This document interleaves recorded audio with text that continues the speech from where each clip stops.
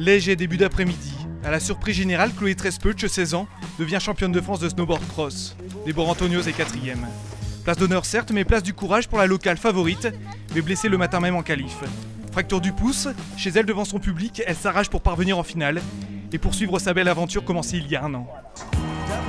Rappelez-vous Vancouver, la gétoise outsider s'empare de l'argent olympique. L'instant est magique. Oui, c'est génial qui va obtenir la médaille d'argent Mais c'est incroyable Voilà quelle médaille française À son retour en France, le marathon médiatique est intense. Stade 2 la reçoit alors pour un passage remarqué.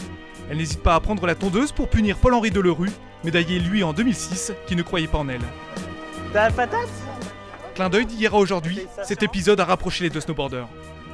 Bah, ça a bien poussé depuis. Hein. regardez, d'ailleurs ils sont un peu longs. On n'arrête pas de m'en parler, ça, tout le monde y a vu.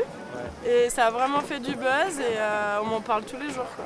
C'est vrai? Ouais, C'est ouais. rigolo alors qu'à l'origine c'était juste une petite blague entre nous. Une petite blague qui a fait des émules. Dans sa station, c'est bien Déborah qui reçoit, et ça se voit.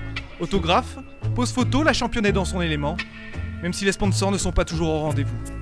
Je fais que du snowboard et je me rends compte que ben voilà, c'est toujours assez difficile de, de vivre de ma passion. L'année dernière, j'étais obligée de travailler pendant toutes les périodes scolaires. Cette année, j'arrive à faire ma saison sans avoir à travailler. Euh, c'est toujours pas évident. Peu de nouveaux sponsors donc, mais un vrai rôle d'ambassadrice. Présente lors des pots d'accueil, sur les brochures ou en taille réelle, Déborah est omniprésente. Ah, je suis là, je suis là, ah, c'est moi, c'est moi. Bah. Troisième des derniers X Games, la référence en snowboard cross, Déborah n'en finit plus d'étonner.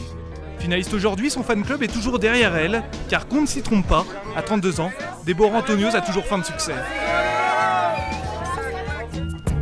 D'ailleurs, au géant, on l'a bien compris, avec depuis cette saison la création d'un border cross permanent à son nom, ouvert à tous, capable d'accueillir les plus grandes compétitions, ce sera peut-être le petit plus pour que Déborah, actuellement quatrième de la Coupe du Monde, monte sur le podium final. Dès demain et malgré sa blessure, elle part en Italie, en quête de nouveaux succès.